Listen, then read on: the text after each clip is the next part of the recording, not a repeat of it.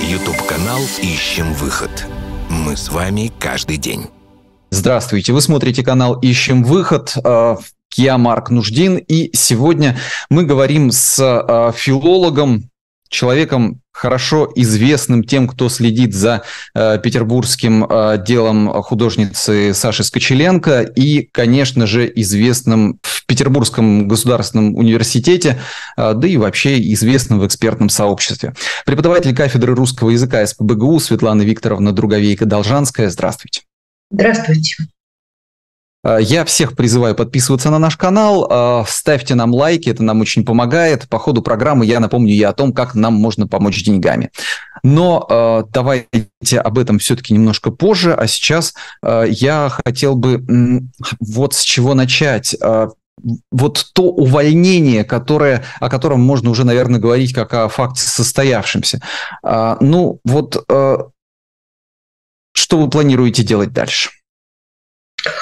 Ну, во-первых, спасибо моим коллегам. Я после уже заседания комиссии по этике из ПБГУ, которое состоялось уже почти две недели назад, получила очень много лестных предложений о работе, да, и я с благодарностью их приму.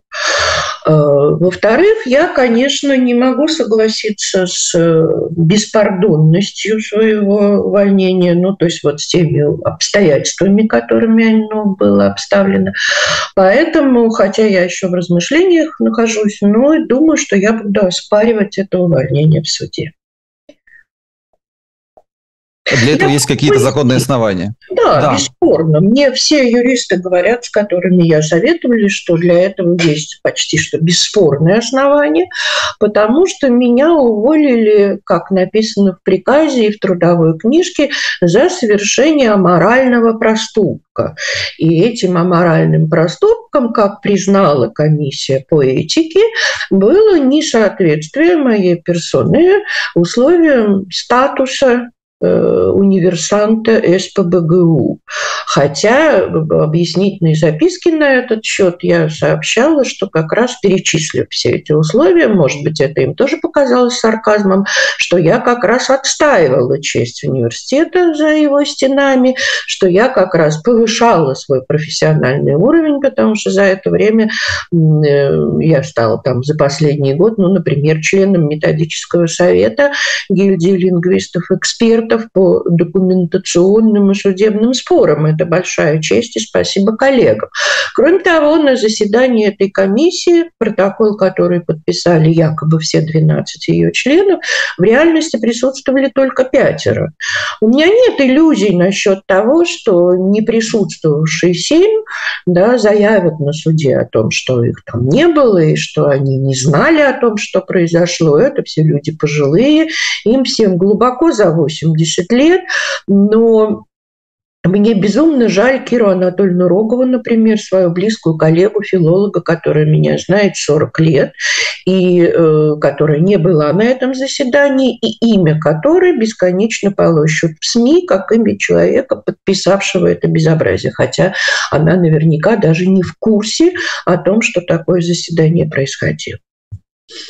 Кроме того... Вы ну... рассказываете совершенно удивительные вещи, я, я поэтому не могу здесь не вмешаться и попросить вас об уточнениях. А, я на всякий случай напомню слушателям, что поводом для заседания вот этой вот этической комиссии стало ваше выступление а, с критикой а, отзывы экспертов-лингвистов, э, вернее, эксперта-лингвиста и эксперта-политолога по делу художницы э, Саши, Саши Скочеленко, которая изменила э, антивоенные, повесила антивоенные ценники в магазине. Вот. А вы раскритиковали, соответственно, после этого раскритиковали уже вас, причем на том уровне, за которым немедленно следует увольнение. Вы сказали пятеро из 12, то есть, по сути, на заседании не было кворума. Конечно. Такое возможно? Ну, как такое возможно, я не знаю, но оно было. Вот почему я и говорю о той беспардонности, с которой это все было обставлено. Кроме того, когда я пришла в пятницу получать приказ о своем увольнении, трудовую книжку, а предупредили меня о том, что такой приказ издан еще в среду, когда у меня были занятия в университете, и тогда я расписалась в том, что я с ним ознакомлена, но отдать мне его обещали только в пятницу 13-го.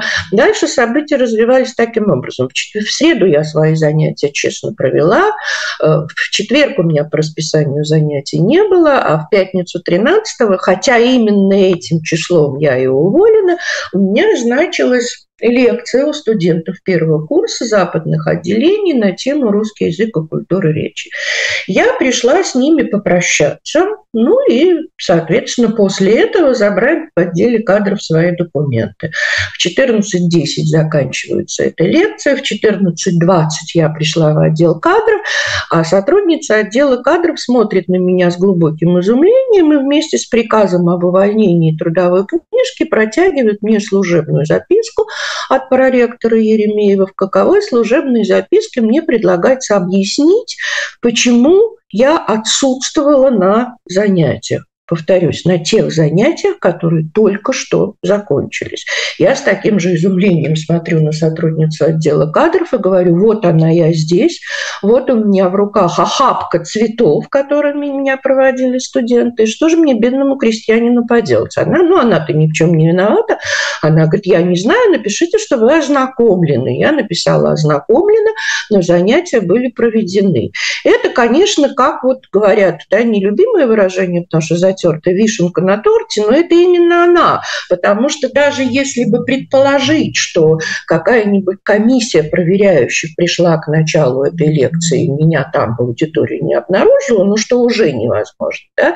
Невозможно было бы за полтора часа написать эту бумагу, подписать ее у проректора, отправить в отдел кадров, да, будучи уверенным, что сотрудник ее получит. То есть это, конечно, было подготовлено заранее, кто-то был уверен, что что ну, не найдется что такой идиотки, которая бы в день увольнения пришла читать лекцию. И э, я, конечно, была горда собой, уж простите, потому что, значит, э, так меня глубоко уважают, что кто-то ночей не спал, куска не доедал, да, а думал о том, как меня бы посильнее уязвить. Вот это меня потрясло Слушайте, про, про... больше всего. Простите, пожалуйста, я немножко представляю себе, как делались дела в советское время. Сейчас подобные порядки, вот исходя из ваших слов, я сейчас слушаю, у меня на голове волосы дыбом встают. Насколько все до буквы совпадает с преследованием инакомыслящих в СССР.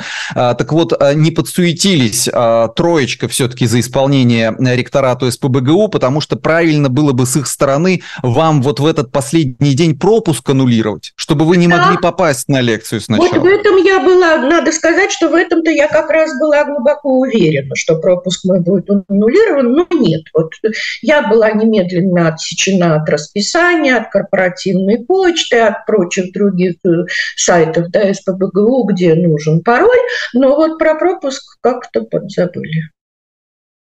Недосмотр, недосмотр.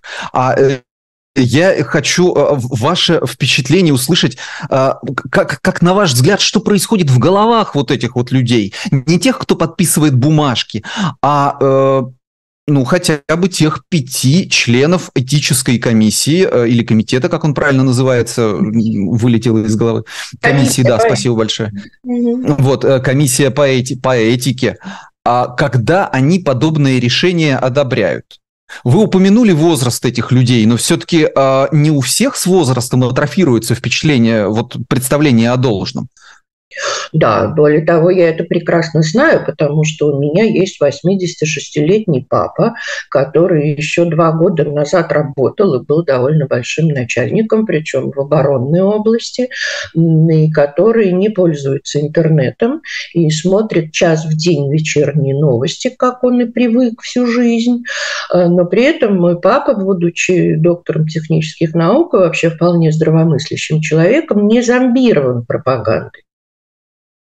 Хотя, собственно, источник информации у него только один – российское телевидение. То есть, э, если мне кажется, что если мозг есть, то его никакой пропагандой не затуманишь. Но у меня нет обиды на этих э, людей, больших ученых, действительно больших ученых, ну, потому что, наверное, им жаль терять какие-то привилегии, которые они имеют, будучи почетными профессорами, потому что им как-то, видимо, я так правда осторожно говорю, потому что у меня нет никакой информации на этот счет, видимо, как-то объяснили, да, что такого ужасного я совершила, поэтому они не слушали моих объяснений, да, когда меня спрашивали, как я посмела дискредитировать университет, я, как мне казалось, вполне здраво им говорила, ну, дорогие коллеги, вы правда настоящие ученые, но вот представьте себе, что кто-то из профессоров рядом с вами, или не профессоров, неважно, стал бы студентам объяснять, что Земля плоская. Но неужели вы бы из соображений корпоративной этики стали бы ему поддакивать, а наоборот не объяснили бы студентам, что он не прав. Я не допускала никаких некорректных высказываний в адрес коллег моих бывших Гришанина и Сафоновой, и это доказать совсем просто, потому что существует аудиозапись э, судебного заседания, ее расшифровка, те немногие видеоинтервью, которые после суда я давала, и то-то всего два э, каким-то СМИ, я даже не знаю, каким содержали ровно то, что я говорила на суде, да, то есть самое резкое, что я сказала и в чем меня обвиняют, ну, как всегда обвиняют извращенно, э, коллега Гришанина сказала, что я якобы назвала ее неуважаемым коллегой. Э, но это было не так, когда, ну, вы представьте себе, что в ситуации суда, ну, как бы я сказала, теперь моя неуважаемая коллега, да, ответьте, пожалуйста, на такой-то вопрос. Совершенно безумно. Когда у меня брали интервью, и я рассказывала о своем отношении, я сказала, мои коллеги, и тут я, к сожалению, не могу прибавить слово «уважаемые», как мы обычно это делаем, но, будучи все-таки лингвистическим экспертом с большим стажем, я понимаю, что это разные вещи. Сказать неуважаемый или не сказать уважаемый.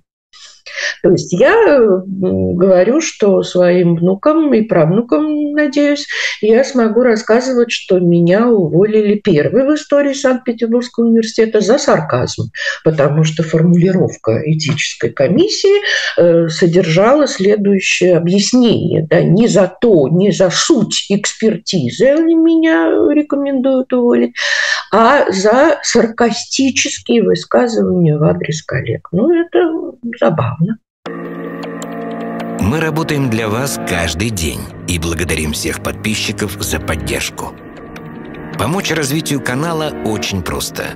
Все сказано в описании к этому видео.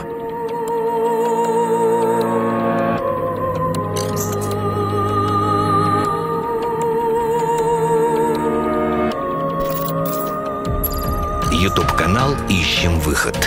Мы с вами каждый день. Скажите, вот э, на ваш взгляд, э, те люди, которые эти решения, ну, фактически ватируют, вот эта вот этическая комиссия, комиссия по этике, ну, они правда больше стали функционерами системы, чем учеными, и для них быть вот э, в духе и в курсе этой системы важнее, чем отстаивание истины. Я просто не могу в это поверить, потому что СПБГУ – это все-таки э, заведение с именем. Это не госуниверситет, э, там, как, который вчера из ПТУ был преобразован путем слияния с другим ПТУ. Марк, я не знаю, но у меня вот здесь вот есть один пример. Из пяти членов комиссии, которые там присутствовали, по крайней мере, с тремя ну, у нас маленький город, маленький земной шарик, да, я так или иначе связана э, какими-то да, связями не с ними личные. Они либо не знают, либо забыли о том, что с кем-то из их родственников довольно близких я дружил или дружила, кого-то из их детей или внуков я учила. Но вот один, я не буду называть эти имена, кроме одного, потому что меня глубоко поразило участие ее в этом заседании. Это Женевра Игоревна Луковская, она юрист, она педагог, выучивший в том числе и нашего президента. Она первый э, у нас в стране специалист по э, правам человека. И самое для меня важное, что она вдова замечательного ученого, филолога Сергея Гречишкина, с которым я была ну, довольно мало знакома, но мы все-таки, он давно уже очень умер, но все-таки знакомы и профессионально, и лично. И Сергей Гречишкин был в свое время уволен из Пушкинского дома за свои антисоветские взгляды. И тогда его коллеги Константин Азадовский, Александр э, Лавров отказались снять свое имя э, с совместных с Гречишкиным публикаций. То есть они его не предали. И вот мне кажется, что Джиневра Игоревна память своего покойного и любимого мужа этим поступком предала. Очень грустная история, надо сказать. А, продолжим а, под другим углом а, разговор на ту же тему. А, я хочу напомнить нашим слушателям а, и зрителям о том, что нам можно и нужно помогать. Зайдите, пожалуйста, в описание этой программы, посмотрите те способы, которые мы вам предлагаем. Нам очень нужна ваша помощь, потому что вы единственный источник а, средств, необходимых для продолжения работы нашего канала, э, для того, чтобы мы делали и выкладывали для вас все новые и новые программы, для того, чтобы у вас были разные точки зрения на то, что происходит, чтобы из них складывалась в конечном итоге ваша собственная точка зрения, чтобы она была выпуклой, объемной и э, выверенной. А, Посмотрите, там самый простой способ – это положить деньги на мобильный телефон. Есть и другие варианты, более сложные, изощренные для тех, кто хорошо разбирается или для тех, кто, кому мобильный телефон не подходит. Э, выберите то, что вам подходит больше, поддержите нас. И большое спасибо тем, кто это сделал. Мы существуем только благодаря вашей поддержке.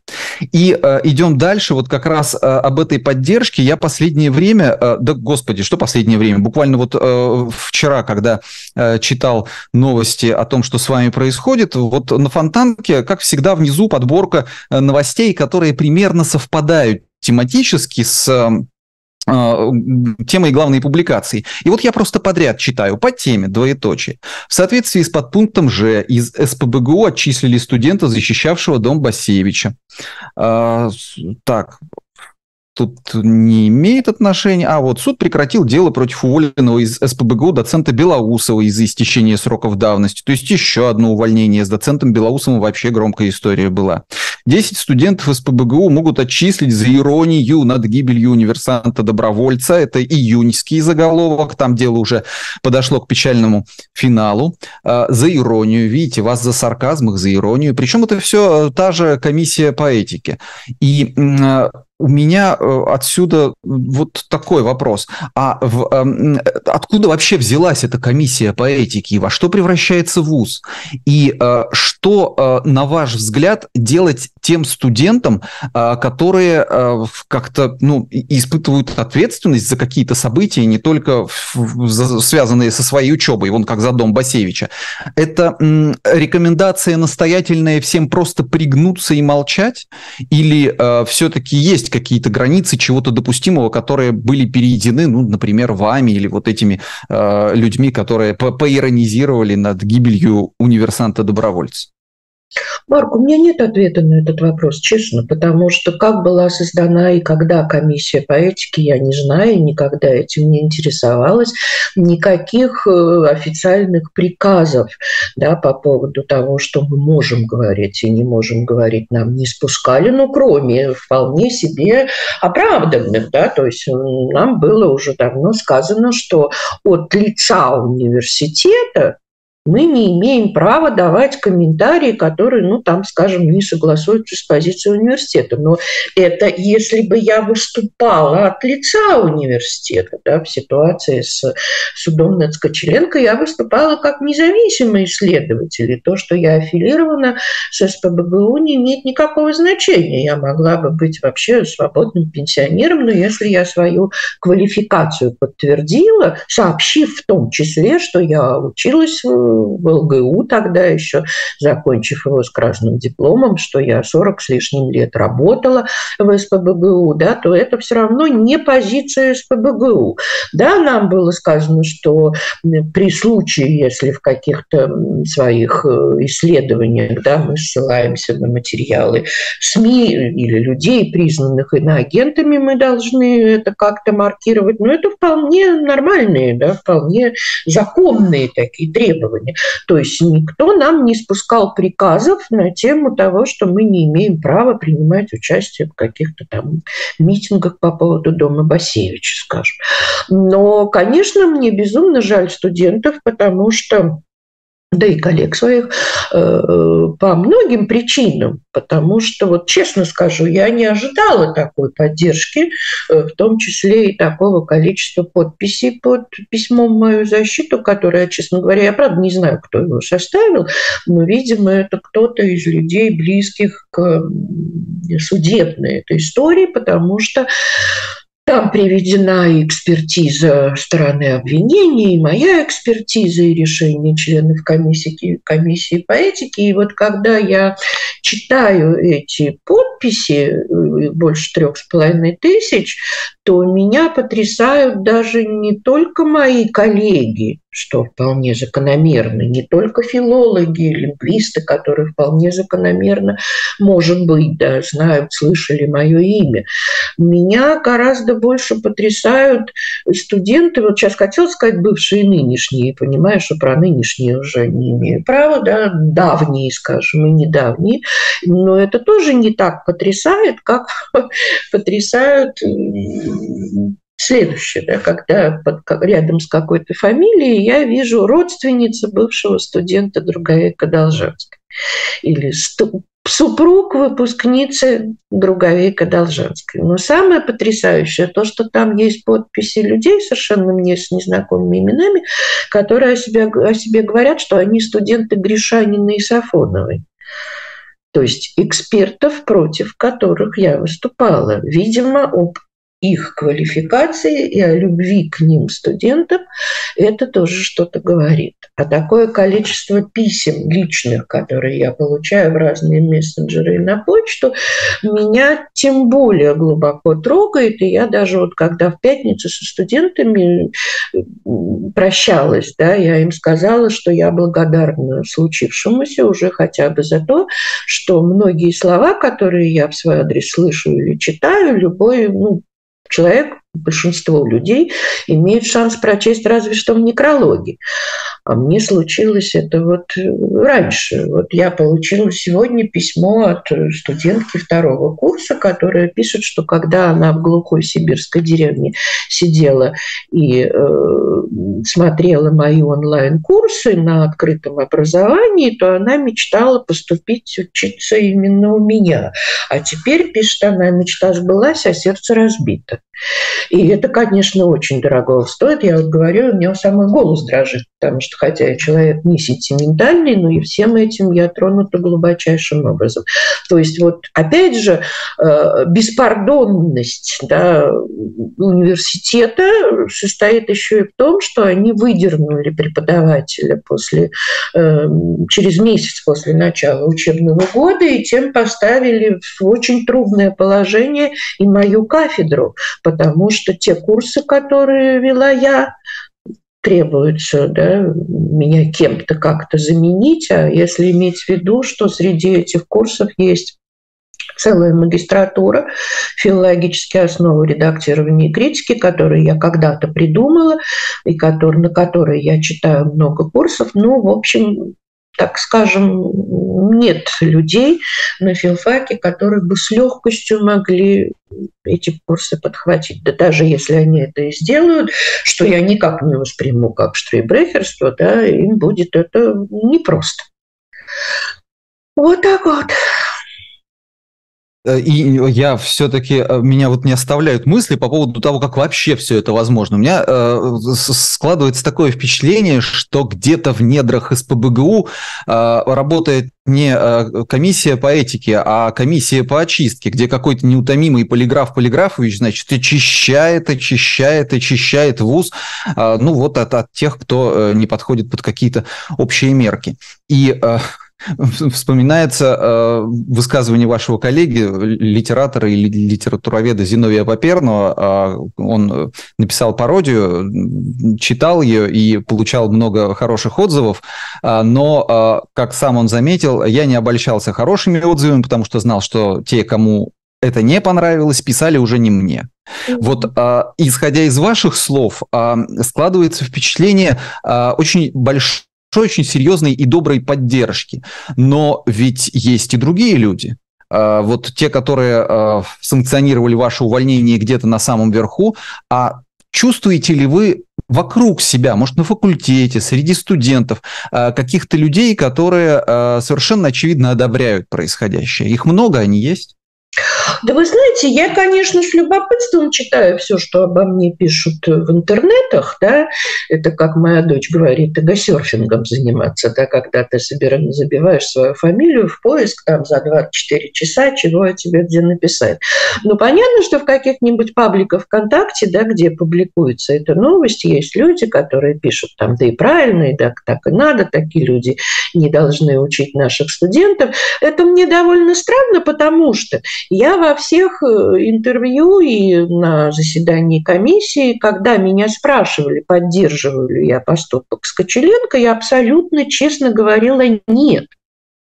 Вот еще раз готова повторить. Нет, мне очень жаль эту нежную, бедную, да, прекрасную девочку, но то, что она сделала, я считаю, ну, так скажем, инфантильным, детским, неразумным, да? То есть вот сказать, что с моей стороны это было политическое высказывание, ни в коем случае нельзя. Я просто честно сделала свою работу. Вот как тоже я кому-то из журналистов недавно говорила, простите, что повторюсь, что будь я экспертом-химиком, и мне бы дали на экспертизу некую жидкость с вопросом, есть ли там яд, Разве мне важно, это сторона обвинения или сторона защиты заказала мне эту экспертизу? Разве мне важно, кто убитый и кто убийца? Я отвечаю на вопрос, есть или нет.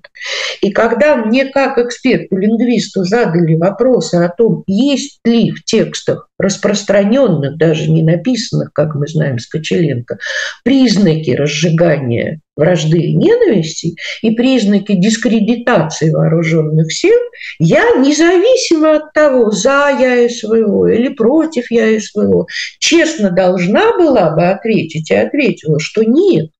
Ну, потому что их там правда нет. То есть это была всего лишь научная честность. Поэтому вот э, те, кто пишут, что как, так ей надо, ну, может быть, это карма моя такая, да, может быть, я что-то в своей жизни плохого сделала, что меня так наказали. Но да, то, что тоже довольно забавно, только одну статью о себе э, злобную, едкую, негативную, да, на просторах интернета, именно статью я прочитала, и комментарии этого же человека есть под скажем, статьи обо мне на Фонтанке, но я точно знаю, кто это. Это некий журналист Павел Виноградов, которого много лет тому назад, если не десятилетия, я тоже уличила в непрофессионализме. Почему я знаю точно? Потому что, хотя слова IP-адрес более-менее всем известны, но все же думают, что людей, которые могут IP-адрес отследить, мало. Ну, я среди них, даже если их и мало. Поэтому мне это тем более позабавило, что вот человек человека полтора десятилетия не оставляет ненависть ко мне такая, что он ходит по разным э, группам, да, и оставляет такие гадкие обо мне комментарии. Ну, это был ровно один Но... Но вот рядом с вами, э, по крайней мере, никто э, не подошел к вам и не сказал, да что ж вы такое там в суде сказали? Ну, кроме членов этической комиссии, никто. Ну да, членов этической комиссии мы оставляем за скобками э, в данном случае. А, и вы а, затронули очень важную тему, о которой тоже нужно поговорить а, отдельно. И я успею задать вопрос об этом до нашего, у нас э, в середине программы. Нам нужно сделать небольшой перерыв. Вопрос вот о чем. Вы говорите о том, что как эксперт вы обязаны сделать вывод вне зависимости от того, кто, кто вам заказывает защиты или обвинения. Вам даже и знать это не надо. Но, как мне кажется, вот сейчас мы подошли к такой обстановке в наших судах и к такой обстановке, наверное, не будет большим преувеличением сказать, в нашем обществе, когда от эксперта требуется в первую очередь узнать, кто ему заказывает экспертизу, и что ему, э, как бы вот, э, и как ему в этой ситуации стоит себя вести, а потом уже смотреть на то, э, как мотивировать уже нужную точку зрения, исходя из заказчика. И э, вот э, скажите, вы правда не осознавали этого, когда выступали независимым экспертом? Вы не ждали, с чем вам предстоит столкнуться? Нет, ну это было бы слишком явным лукавством с моей стороны, если бы я сказала нет. Другое дело, что когда ко мне обратились адвокаты э, Скочеленко, да, до этого я сама на баррикады не склонна была лезть, да, то есть это не было моим решением немедленно пойти и защищать Александру. Но так случилось, что действительно мои бывшие выпускники, близкие, мои бывшие коллеги, близкие, вот э, не побоюсь этого слова, с восьми сторон. Я прям вчера села, посчитала эти письма. Ко мне обратились, зная, что я выступаю с лингвистической экспертизой, с просьбой принять участие в этом деле. Я сказала, ну давайте поглядим. И когда ко мне обратились адвокаты, и я прочитала тексты, которые мне предстоит анализировать, я согласилась. То есть, если бы я увидела, что я не смогу быть честной, то я бы отказалась. Или если бы я, согласившись, написала такую экспертизу, которая не устроила бы защитников, они бы ее не представили в суд. Понимаете? То есть здесь слишком много вот этих вот нюансов, потому что уже когда я прочла экспертизу Гришанина и Сафоновой, вот тогда я была готова идти э, с транспарантом, знаменем, да, со штандартом впереди всех защитников, потому что я увидела какое-то ужас сделанный ими. Потому что мне, правда, до сих пор я глубоко уверена, что это прямая дискредитация СПБГУ. Потому что если от имени СПБГУ представляется такая экспертиза, то это стыд и позор моему родному вузу.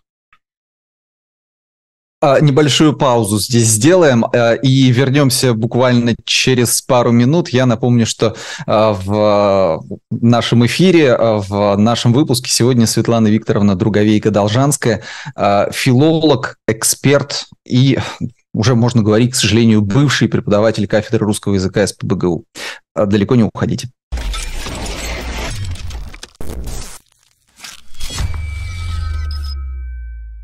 Здравствуйте, я приветствую всех, кто смотрит сейчас наш канал «Ищем выход». Благодарим вас за то, что вы остаетесь с нами. И из новостей это то, что мы реформировали работу с нашим телеграм-каналом, который так и называется «Ищем выход» Ахо Петербурга. Там стали появляться новости из северной столицы, но эти новости могут быть интересны не только жителям нашего города. Просто понятно, что есть определенная, ну, как сказать, э, есть голод по подобного рода новостям. Мы пытаемся вешать туда те новости, которые э, действительно интересуют э, петербуржцев и вообще людей из России, тех, кто скучает по Петербургу в тот момент, когда уехал оттуда. Это и политика, и это немного экономика, но помимо прочего, это еще и фрагменты из наших эфиров, поэтому подписывайтесь, э, ссылку мы оставляем в, к описанию каждого из видео. И я, конечно же, благодарю всех, кто поддерживает наш э, канал, потому что мы существуем благодаря вашим донатам. Другой, э, другого финансирования у нас нет, и э, это принципиальное наше решение. Вот с вашей помощью мы уже закрыли дыру в бюджете за, октя... за сентябрь. Вот октябрь у нас пока, ну, более-менее идем Спасибо всем, кто нас поддерживает. Поддержать очень просто. Это сказано в описании к этому видео. И не забывайте про Patreon, если вы живете за границей. А то вот нам там пишут, что мы живем в Европе, а перевести на карточку не можем. Patreon есть специально именно для этого. Спасибо вам еще раз, и мы продолжаем нашу работу благодаря вам.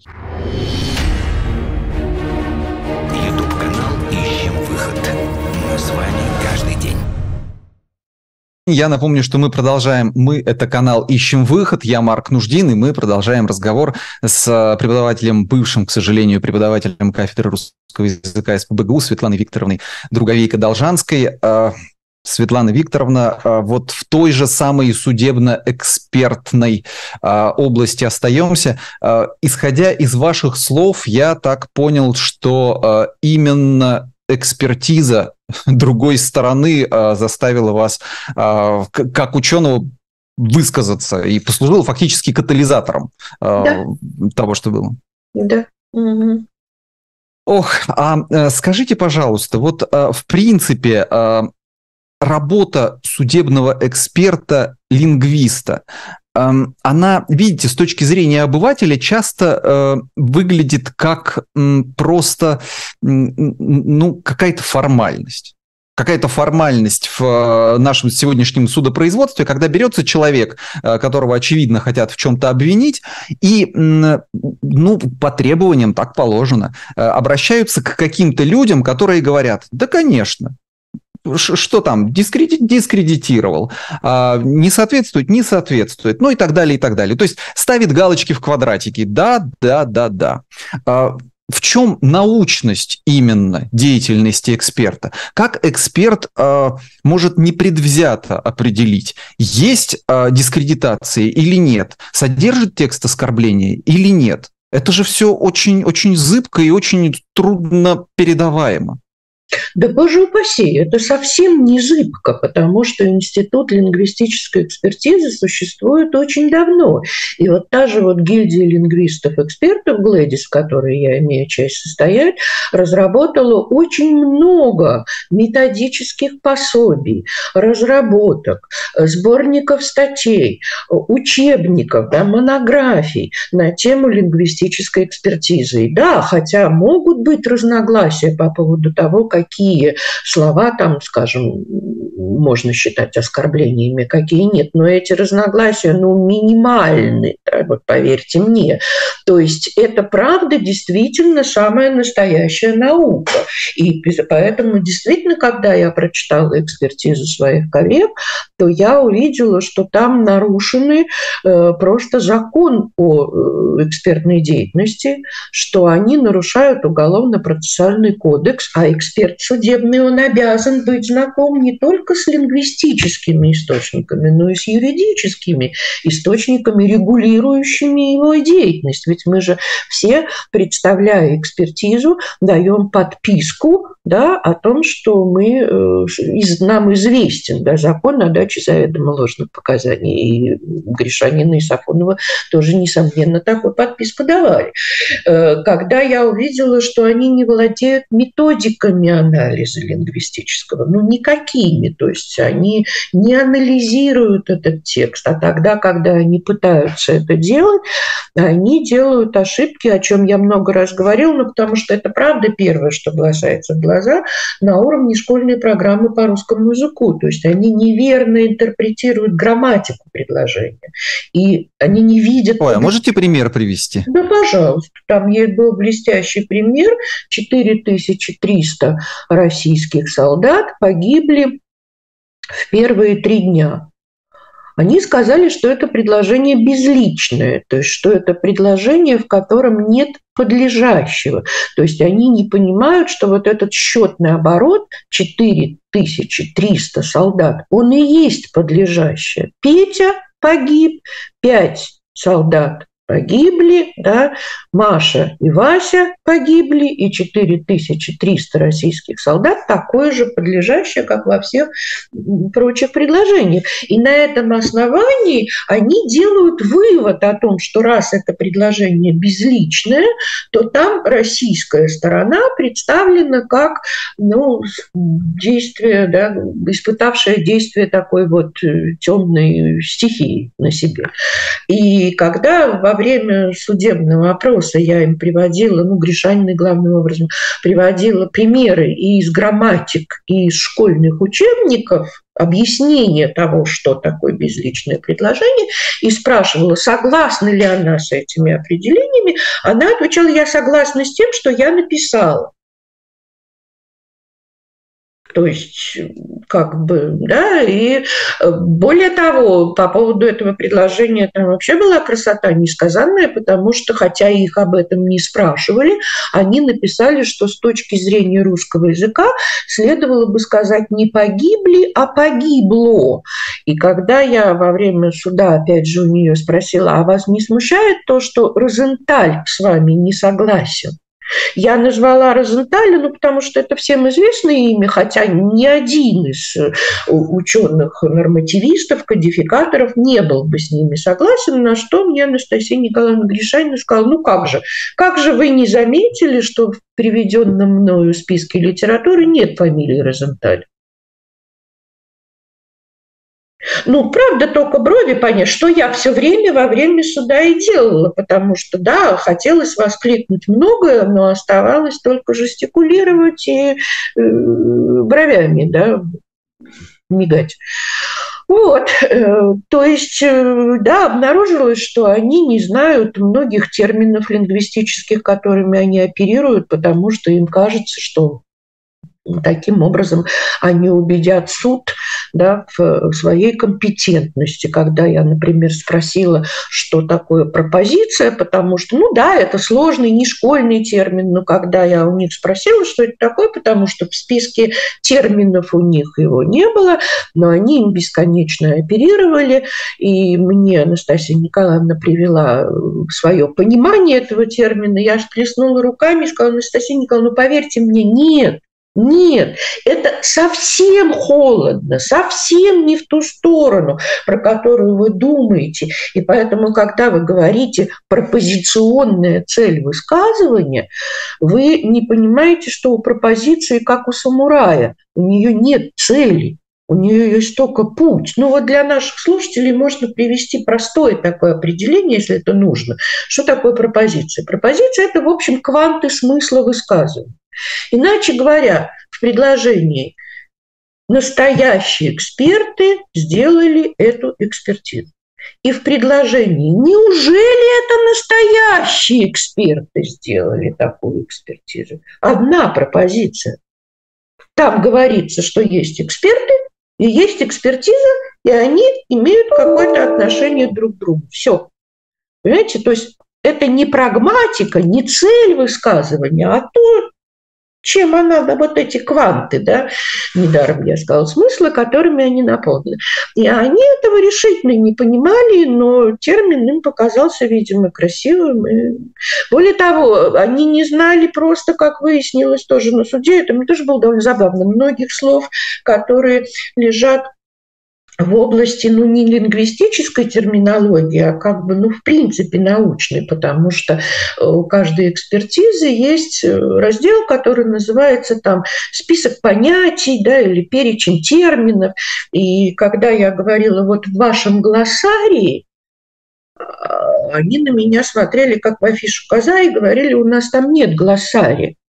То есть они не понимали, что глоссарий – это вот синоним списка терминов. И, конечно, меня это все бесконечно обескураживало, потому что мне казалось, что я буду разговаривать, может быть, с ангажированными, может быть, с предвзятыми, я не знаю, да, но все-таки коллегами, которых можно спросить, почему они так думают, а выясняется, что они ничего не думают. Э, скажите, а как на ваш э, диалог э, реагировала судья? Ну, она во всяком случае не снимала мои вопросы. Но точно так же она не э, говорила, вопрос не снят, да, моим оппонентам, когда они заявляли, а какое это имеет отношение к делу. Да, я задаю вопрос, а они говорят, я не буду на это отвечать, потому что я считаю, что это не имеет отношения к делу. И тогда уже адвокатам приходилось реагировать и говорить, что вы обязаны ответить на этот вопрос. Ну, то есть э, со, со стороны судьи отношение было нейтральным. Ну, скажем так, да. Ну, я, честно говоря, была настолько сосредоточена на человеке, с которым я вела диалог в этот момент, поскольку вы понимаете, что при всем опыте, который у меня есть, это непросто. Да? То есть руки у меня не дрожали, но сосредоточена я была вот сильно на этом процессе. Ой, я вас уверяю, по моему опыту присутствия на судебных процессах, если судья настроен не нейтрально, то это очень хорошо ощущается, даже, даже, э, даже слишком хорошо. А на ваш взгляд, вот ваше выступление в суде, оно будет иметь какое-то значение на судьбу процесса, а, какое-то влияние на судьбу процесса? Я не Ведь, знаю. Я а про... вы когда принимали решение о выступлении, вы держали это в голове или в первую очередь вас научная сторона беспокоила? Ну, меня, конечно, беспокоила научная сторона. В первую очередь, может быть, или в первую, во вторую что-то поставить на какое место, я не знаю. Я надеялась, что это поможет. Но то, что сторона защиты, меня включая, да, надеются на то, что это поможет, об этом свидетельствует уже то обстоятельство, что сторона защиты заказала еще одну экспертизу лингвистическую. Э, лингвистическая экспертиза это была призвана сравнить две экспертизы стороны обвинения и стороны защиты, то есть мою. Эта экспертиза доктором наук Ирины Левинской уже в суде оглашена, и там она полностью поддерживает э, мою точку зрения и указывает на те же ошибки экспертизы стороны обвинения, на которые указала я. И сейчас адвокаты уже заявили о том, что просит судью приобщить к делу еще одну лингвистическую экспертизу, которую написал, ну, я так скажу, эксперт уровня Бог.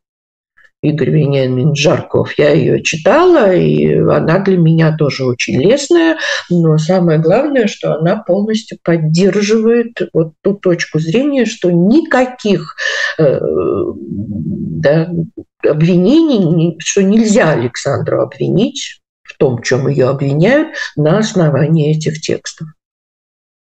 Господи, я вас слушаю и ушам не верю, потому что э, такие усилия таких людей брошены на то, чтобы отстоять человека от обвинения, в основе которого, простите, ценники, какие-то маленькие квадратики бумажки в магазинах, я не знаю даже, сколько их человек-то увидела. И вот теперь все эти люди со всеми этими багажами знаний, со всеми этими должностями, со всеми этими учеными степенями, все они брошены на то, чтобы, а, значит, а, а, от этих ценников человека отстоять как-то. Более того, ведь вот на суде я не так уж чтобы слежу за ну, всем происходящим в мире, но на суде прозвучало от Сашиных адвокатов, что год, кажется, назад уже в Ижевске одну даму э, осудили за распространение ровно тех же самых ценников, и ей э, присудили штраф в размере, по-моему, 40 тысяч рублей. То есть за одни и те же слова и за одни и те же действия одного человека наказывают штрафом, даже не очень большим, а другому грозит десятилетнее заключение. Это абсурд. Да. Ну, к сожалению, последнее время наша судебная система дает нам много подобного рода вещей, которые иначе как абсурдом не назовешь. А я хотел а, еще вот о чем с вами поговорить. А, вопрос достаточно давний, просто у меня э, не было возможности спросить об этом действительно человека, обладающего экспертными знаниями. Вот у нас язык общества меняется совершенно заметно это не э, умозрительные какие-то вещи.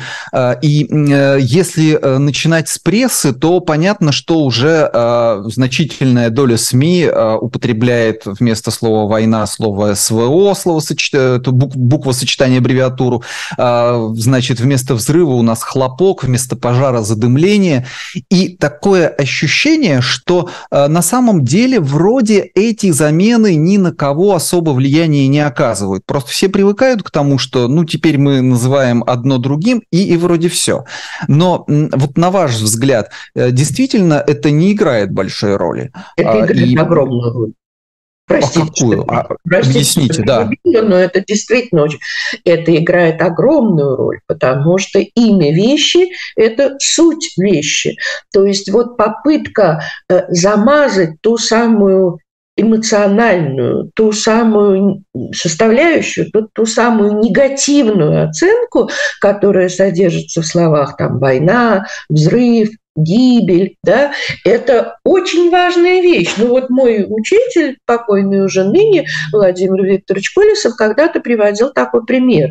Э, ну, представьте себе, что вот есть два, ну, собственно, что представлять, они и есть. Есть два слова «убийца» и «киллер» они, в общем-то, называют человека, который одним и тем же видом деятельности занимается, простите.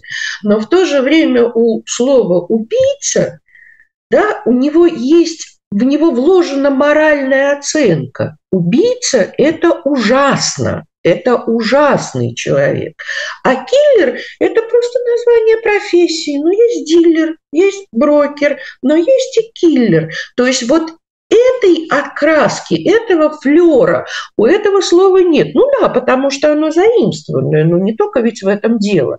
Поэтому действительно называть взрыв хлопком, это значит э, сказать о том, что это не страшно.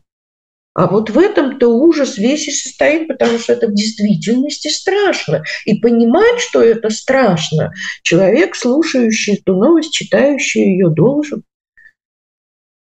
Ну, подождите, а у меня тогда а, вот небольшое уточнение еще к первой части а, того, о чем вы сказали. А, все-таки убийца и киллер, а, наверное, какое-то время назад а, это замечание было справедливым, но сейчас я а, в заголовках а, вижу, а, допустим, такое словосочетание, как а, Рутюб, а, значит, вот а, площадку для выкладывания видео, называют убийцей Ютуба. Например, вот слово «убийца» тут у нас звучит, но э, даже негативной коннотации особо нет, наоборот, определенная гордость. Рутуб, убийца Ютуба. А э, Задоренко, например, было прозвище «телекиллер». И здесь негативная коннотация совершенно налицо. Если мы сравним убийцу Ютуба с телекиллером, то телекиллер, пожалуй, звучит страшнее. А нет ли э, изменения... Вот э, насколько верно ваше замечание относительно того, что слово имеет свой собственный смысл. Не стирается ли этот смысл сейчас? Ну, конечно, язык, поскольку явление развивающееся, да, он бесконечно развивается, то случается такое, и довольно часто, что у какого-то слова появляются иные, как лингвисты говорят, коннотации, да, то есть вот иная оценочность. Ну, тут у меня тоже из многочисленных реакций есть такой пример довольно понятный. Вот если я своих современных студентов, ну, простите, опять же, да, недавно еще студентов могла спросить, вот как вы считаете, амбиции это хорошо или плохо? И мне сто процентов из ста, конечно, говорю, ну, конечно, хорошо быть амбициозным, прекрасно иметь амбиции, это значит, да, надеяться на лучшее будущее. И я им говорила, что еще 20 лет тому назад, ну, хорошо, может быть, 30, э, в словарях русского языка слово амбиции характеризовалось только как неоправданные, неумеренные притязания на что-то лучше. И так было на протяжении многих веков, потому что слово амбиции давнее заимствование э, через польский из французского, где оно вот такую же отрицательную оценку имеет.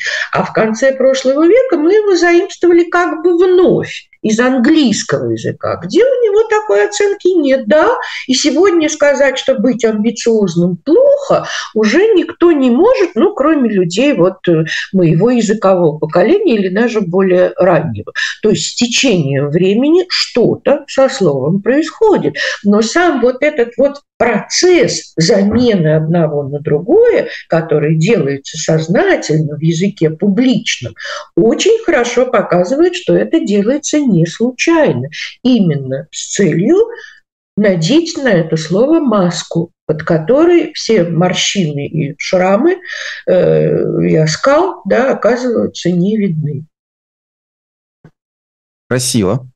Сейчас продолжим на эту же тему разговор. А, я только а, к нашим слушателям еще хочу а, обратиться с обычным своим призывом. Мы здесь на слова маски не надеваем, а с каких-то слов их даже снимаем. Поэтому помогите нам, пожалуйста, загляните в описание программы и посмотрите, какие способы мы вам для этого предлагаем начиная от самого простого, положить деньги на мобильный телефон и на карту можно перевести, и даже с помощью криптовалюты можно сделать пожертвование. В любом случае, все это пойдет на развитие и поддержание деятельности нашего канала, а, потому что Именно благодаря вашей помощи он и существует. И огромное спасибо всем тем, кто уже эту помощь оказал продолжайте в том же духе. Если э, не получается деньгами, то поставьте лайк, э, подпишитесь, это тоже очень помогает э, развитию и продвижению нашего канала. И большое спасибо тем, кто это уже сделал, точно так же, как и спасибо за пожертвование. Это для нас тоже очень важно. Э, исходя из того, что э, у нас только что прозвучало, я так понимаю, что э, маску на самом деле на слово надеть можно. Но да. а, че, через какое-то через какое-то время, наверное, люди все равно начнут а, разбираться. Или не начнут, или эта маска на долгое время, а то может и навсегда. И у нас вот это вот хлопок вместо взрыва, он э, прописался в языке. Эм, тоже не знаю, ведь для печатных текстов есть очень хороший способ, когда такое слово, вот скажем, хлопок, э, забирается в кавычки, то очень хорошо видно, что пишущий да, дистанцируется от него, он показывает, что он употребляет его не вполне в том смысле, э, в котором оно привычно в языке. Ну, точно так же э, в устной речи это можно выделить интонацией. Это не то чтобы совет, да, но когда э, говорящий, пишущий осознает, что он это слово употребляет не так, как он к нему в действительности относится, э, это из текста видно. Угу.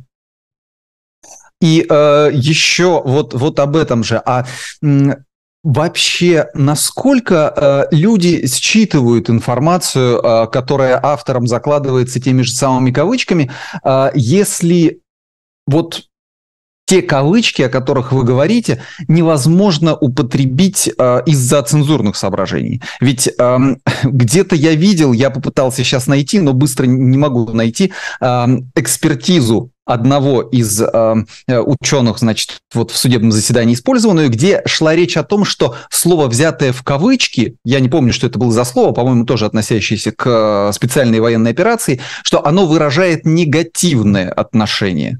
То есть вот э, этот подтекст попытались перенести, формализовать и предъявить суду в качестве аргумента. Ну, это опять же не профессиональная оценка, да, потому что семантика кавычек описано в лингвистике прекрасно. Есть работа у Анны Залезняк, давняя, которая так и называется «Семантика кавычек». И все, что кавычки да, могут привнести в значение слова, там подробнейшим образом проанализировано и перечислено. Эта работа такая, я бы сказала, базовая. Поэтому говорить, что это негативная коннотация, что приносит кавычки, ну, может только, опять же, не профессионал, если вы верно процитировали то, что там было сказано. Да, вот почему я и лишний раз подчеркиваю, что для того, чтобы заниматься таким непростым делом, как экспертиза, потому что от результатов того, что там было написано, да, из тех выводов, которые ты сделал, может зависеть человеческая жизнь, для этого нужно иметь, ну, простите, хорошее образование да, и хорошую начитанность, причем в текстах современных, ведь бесконечно что-то новое выходит на эту тему. Вот только только что в Москве э, прошла конференция, которая была посвящена судебной экспертизе, вот буквально на днях, да, и я в ней из-за событий, которые в моей жизни происходят, не участвовала э, физически, поскольку это было в Москве, но я смотрела эти доклады онлайн, э, мне прислали сборник да, докладов этой конференции. Конечно, я все это буду читать. Хотя, повторюсь, лингвистическая экспертиза в моей жизни была отнюдь не главной деятельностью. Вот на, это, на этой экспертизе по поводу дела Саши Скочеленко, Александра Скочеленко стоит номер 42. Это я так сама для себя обозначаю. Это значит, что я в своей жизни написала 42 судебные экспертизы. Это, в общем, за 30 лет не очень много да? но ответственность очень велика. А скажите, может ли эксперт э, вот э, формализовать подтекст? То есть то, что явно не написано, но подразумевается. Ну, это так. А каким образом? Как, как это вообще переносится на бумагу? Ну, существует такое понятие имплицитная информация, то есть та информация, которая не выражена, но заложена. Это вещь такая очень непростая, но мне трудно без текста конкретного да, об этом говорить, но это и грамматический строй фразы, и та лексика, то есть те слова, которые выбираются из синонимического ряда, да, они могут тут сыграть какую-то роль. Да? Это, ну, вплоть даже до таких вещей, ну, это проще, конечно, что самый главный вопрос, на который отвечает лингвист, даже если он не задан да, прямо вот следствием, э, является ли эта информация в тексте да, переданная утверждением о факте или выражением мнения. Потому что выражение мнения, да, оно свободно, человек совершенно способен, да, совершенно свободно может его э, выражать, а утверждение о факте, которое можно проверить, ну, тут уже может быть клевета и всякое прочее. Ну, и тут даже... Ну, так... то есть оценивать можно, врать нельзя. Конечно, конечно. И тут даже такие простые вещи играют роль, хотя не только они, как, ну, скажем, водные слова. Ну, или местоимение, да, если человек пишет «я полагаю, что Пупкин идиот», да, он выражает свое мнение.